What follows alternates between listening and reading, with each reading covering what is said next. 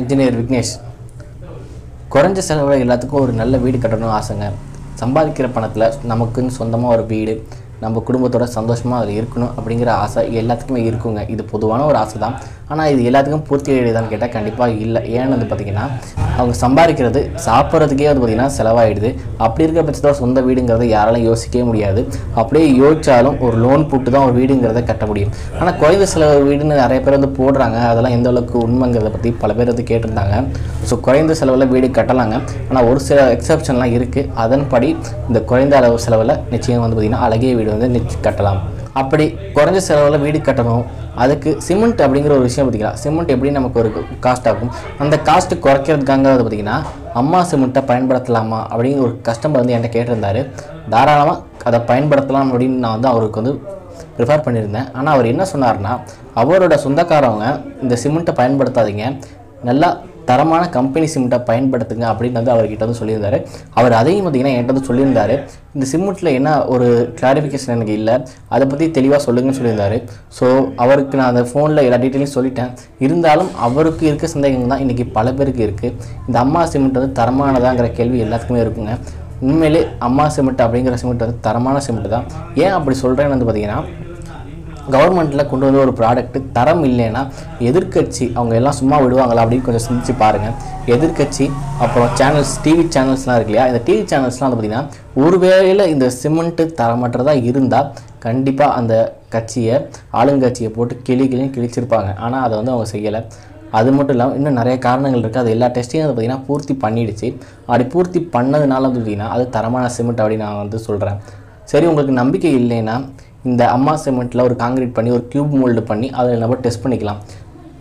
அது மூலிமா அதோட ஸ்ட்ரென்த்தை வந்து நம்ம தெரிஞ்சுக்கலாம். சரிங்க. சிமெண்ட் அப்படிங்கிற ஒரு பொருள் தான் பார்த்தீங்கன்னா இந்த காங்கிரீட்டுக்கு ஸ்ட்ரென்த்து கொடுக்குதா? இதா? இந்த கேள்வியை அவர் கேட்டிருந்தாரு. இது அவருக்கு மட்டும் இல்லை எல்லாத்துக்குமே தெரிஞ்சிக்க வேண்டிய ஒரு விஷயம்.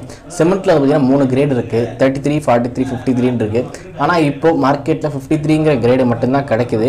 இந்த தேர்ட்டி த்ரீ ஃபார்ட்டி த்ரீ அப்படிங்கிற கிரேடெல்லாம் இல்லை. ஸோ இது வந்து பார்த்திங்கன்னா இதுவும் ஒரு சூழ்ச்சின்னு கூட சொல்லலாம் இது ஒரு கார்ப்பரேட் சூழ்ச்சின்னு கூட வந்து நம்ம வந்து சொல்லலாம். ஏன் அப்படின்னு வந்து பார்த்தீங்கன்னா ஒரு சில இடத்துல நமக்கு தேர்ட்டி த்ரீ ஃபார்ட்டி த்ரீங்கிற அந்த சிமெண்ட் கிரேடு மட்டுமே போதும். இருந்தாலும் எல்லாரையும் ஃபிஃப்டி த்ரீ அப்படிங்கிற ஒரு கிரேடுக்குள்ளே இந்த கார்ப்பரேட் கொண்டு வந்துட்டாங்க. அதனால இன்னைக்கு இந்த மார்க்கெட்டில் தேர்ட்டி த்ரீ ஃபார்ட்டி த்ரீங்கிற சிமெண்ட்டே இல்லாமல் போயிடுச்சு. ஒருவேளை உங்களுக்கு சந்தேகமாக இருந்தால் இந்தியன் ஸ்டாண்டர்ட் கோட் புக்குன்னு இருக்குது ஸோ அந்த கோட் புக்கில் பார்த்தீங்கன்னா தெரியும். ஒரு சில இடங்களுக்கு தேர்ட்டி த்ரீ ஃபார்ட்டி த்ரீங்கிற கிரேடை நம்ம யூஸ் பண்ணலாம்னது அந்த கோடு புக்லேருந்து பார்த்திங்கன்னா அவங்க கொடுத்துருக்காங்க. ஆனால் இன்னைக்கு வியாபார நோக்கத்துக்காக இந்த ஃபிஃப்டி த்ரீ அப்படிங்கிற ஒரு கிரேடை வந்து எல்லாருக்கும் திணிச்சிருக்காங்க. இப்படி திணிக்கிறது மூலிமா வந்து பார்த்தீங்கன்னா அவங்க இந்த சிமெண்ட்டை தான் வாங்கணும். இந்த சிமெண்ட்டில் நிறைய ஸ்ட்ரென்த் கிடைக்குது அப்படின்னு சொல்லி பல பொய்யான விளம்பரங்களை வச்சு ஏமாத்துறாங்க இந்த கஸ்டமர்ஸ் எல்லாத்தையும். உண்மையை சொல்ல போனால் சிமெண்ட் அப்படிங்கிறது வந்து ஒரு ஸ்ட்ரென்த்தை கொடுக்குமான்னு கேட்டால் கண்டிப்பாக இல்லைங்க. சிமெண்ட் அப்படிங்கிறது பார்த்தீங்கன்னா ஒரு பைண்டிங் மெட்டீரியல் தான். இந்த சிமெண்ட்டு மணலையும் ஜல்லியையும் பிடிச்சி வைக்கிற ஒரு ஜெல்லாக தான் ஆக்ட் ஆகுது. ஸோ இந்த கிரேடில் இந்த ஜெல்லுக்கும் இந்த கிரேடுக்கும் என்ன வித்தியாசம் வந்து பார்த்திங்கன்னா இப்போது நாம் ஒரு தேர்ட்டி த்ரீ கிரேடில் ஒரு சிமெண்ட்டையும் ஃபிஃப்டி த்ரீ கிரேடு உள்ள சிமெண்ட்டையும் பார்ப்போம். ரெண்டுமே வந்து பார்த்திங்கன்னா கிட்டத்தட்ட ஒரே கேஜில் தான் இருக்கும். ஆனால் இதில் இருக்க ஒரு பிரச்சனை என்னென்னா தேர்ட்டி த்ரீ அப்படிங்கிறது வந்து கொஞ்சம் மொத்தமாக இருக்கும் சிமெண்ட்டு ஒரு அதாவது ஒரு பார்ட்டிகல் அந்த ஒரு ஃபைன் பார்ட்டிகல் தான். இருந்தாலும் அது பார்க்க மொத்தமாக இருக்கும். ஆனால் அதை விட ஃபைனாக வந்து பார்த்திங்கன்னா அந்த ஃபிஃப்டி த்ரீ அப்படிங்கிற அந்த கிரேடில் இருக்கும். ஸோ இதில் என்ன யூஸ் இருக்குன்னு வந்து பார்த்தீங்கன்னா இந்த தேர்ட்டி த்ரீயில் வந்து பார்த்திங்கன்னா ஜெல் ஃபார்மேஷன் அதாவது ஜெல் ஃபார்மேஷன் உடனே ஆகாது. கொஞ்சம் டைம் எடுக்கும். ஆனால் அந்த ஃபிஃப்டி த்ரீ அப்படிங்கிற கிரேடில் இந்த ஜெல் ஃபார்மேஷன் வந்து உடனே ஆக்ட் ஆகி பைண்டிங் மெட்டீரியலாக உடனே இந்த மணலையும் ஜல்லியையும் பிடித்து வைத்துக்கும் தனக்குள்ளே. ஆனால் அந்த தேர்ட்டி த்ரீங்கிறது பிடித்து வைக்கிற தன்மை வந்து கொஞ்சம் கம்மிங்கிறதுனால மெதுவாக தன்னை பிடிச்சி வச்சுக்கும். இருந்தாலும் கிட்டத்தட்ட எல்லாமே ஒரே ஸ்ட்ரென்த்து தான் வந்து கொடுக்குது. இருந்தாலும் டைம் அப்படிங்கிற ஒரு டிஃப்ரென்ஸ் மட்டும்தான் அது வந்து ரெண்டுத்துக்குள்ள வித்தியாசமாக வந்து இருக்குது. ஸோ இதை நாம் எல்லோரும் வந்து முதல்ல தெரிஞ்சுக்கணும். சிமெண்ட்டுன்னு பார்க்கும்போது பார்த்தீங்கன்னா ஒரு கம்பெனி தான் நல்ல சிமெண்ட் அப்படின்லாம் இல்லை. கோட் புக்கில் ஒரு ஸ்ட்ரென்த்து கொடுத்துருப்பாங்க. அந்த ஸ்ட்ரென்த்தை அது பூர்த்தி பண்ணாலே போதும். ஆனால் இப்போ மார்க்கெட்டில் வந்து பார்த்தீங்கன்னா அதை விட அதிகமான ஸ்ட்ரென்த்தெல்லாம் வருது. ஸோ இதுக்கெல்லாம் தேவையே இல்லை.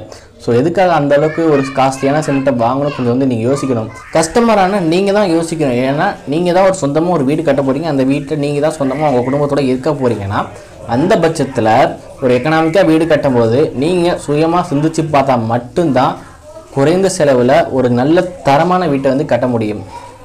மற்றவங்க சொன்னாங்க அப்படிங்கிறதுக்காக நீங்கள் உங் உங்களுக்கு இருக்கிற நாலேஜை நீங்கள் டிவியேட் பண்ணிக்காதீங்க.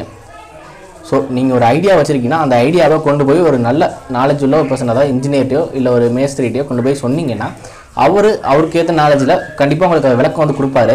ஸோ இதில் உங்கள் ரெண்டு பேத்துக்கு ஒரு நல்ல கான்டாக்ட் ஆகி அப்போது உங்களுக்கு ஒரு நல்ல தெளிவு கிடைக்கும். ஸோ அதை தான் நான் அந்த வீடியோவில் வந்து சொல்கிறேன் ஸோ நீங்கள் மற்றவங்க சொல்கிறாங்கலாம் பார்க்காதீங்க. ஒரு டேரெக்டாக ஒரு இன்ஜினியர்கிட்ட போங்க. ஸோ இன்ஜினியர்கிட்ட போய் எனக்கு இந்த மாதிரிலாம் ஐடியா இருக்குது இதெல்லாம் பயன்படுத்தினா இந்த வீட்டில் வந்து எக்கனாமிக்கலாக இருக்கும். நீங்கள் என்ன சொல்கிறீங்க உங்களோட கருத்து என்னங்கிறத இன்ஜினியர்கிட்ட கேளுங்க. ஸோ அவர் என்ன சொல்கிறாருங்கிறத பாருங்க. ஏன்னா அவரோட பாயிண்ட் ஆஃப் வியூவில் இது வந்து சரியாக சரியில்லையாங்கிறத கரெக்டாக ஒரு இன்ஜினியரால் வந்து நிச்சயம் அந்த டெசிஷனை வந்து மேக் அதாவது நிச்சயம் அந்த டெசிஷனை வந்து அவரால் எடுக்க முடியும். அப்படி இருக்க பட்சத்தில் ஒரு நல்ல அப்போ ஒரு இன்ஜினியர் வந்து நம்ம அப்ரோச் பண்ணுறதுனால தப்பே இல்லை. ஸோ அவரும் மூலிமா அந்த வீட்டை கட்டுறது ரொம்பவே வந்து பார்த்திங்கன்னா நல்லதாக இருக்கும்னு நான் நினைக்கிறேன். அது மட்டும் இல்லாமல் இந்த சிமெண்ட்டில் அவர் ஸ்ட்ரென்த்தை ரீச் பண்ணுறதுக்கு கால அளவுன்னு ஒன்று இருக்குங்க. அந்த கால அளவுக்குள்ளே தான் அது தன்னோட ஸ்ட்ரென்த்தை வந்து ரீச் பண்ணும். ஸோ அந்த கால அளவு என்னங்கிறத நம்ம எல்லாம் தெரிஞ்சுக்கணும். அது மட்டும் இல்லாமல் காங்கிரீட் அப்படிங்கிற ஒரு விஷயத்தை பற்றி தெரிஞ்சுக்கணும். ஏன்னா அதில் கிரேட் அப்படிங்கிற பல வகைகள் இருக்குது அந்த ஒவ்வொரு வகையும் நம்ம வந்து தெரிஞ்சுக்கணும். ஸோ இது எல்லாமே வந்து பார்த்திங்கன்னா நீங்கள் ஒரு வீடு கட்ட போகிறீங்கன்னா உங்களால் தெரிஞ்சுக்க முடியாது. இருந்தாலும் உங்களோட ஐடியாவை ஒரு இன்ஜினியருக்கு கொண்டு போய் கொடுக்கும்போது கண்டிப்பாக அது ஒரு ரிசல்ட்டில் வந்து பார்த்திங்கன்னா நல்ல தரமான அழகிய குறைந்த செலவில் ஒரு வீடை நீங்கள் நிச்சயம் வந்து கட்டலாம். ஸோ ஐ ஹோப் யூ கண்டிப்பாக உங்களுக்கு இந்த வீடியோ ஹெல்ப்ஃபுல்லாக இருந்திருக்கும்னு நினைக்கிறேன். ஸோ நெக்ஸ்ட் வீடியோவில் நான் எதை பற்றி பேசணும்னு நீங்கள் நினைக்கிறீங்களோ அதை கமெண்ட் செக்ஷனில் கமெண்ட் பண்ணுங்கள் கண்டிப்பாக அதை ஒரு வீடியோவாக நம்ம வந்து பார்ப்போம்.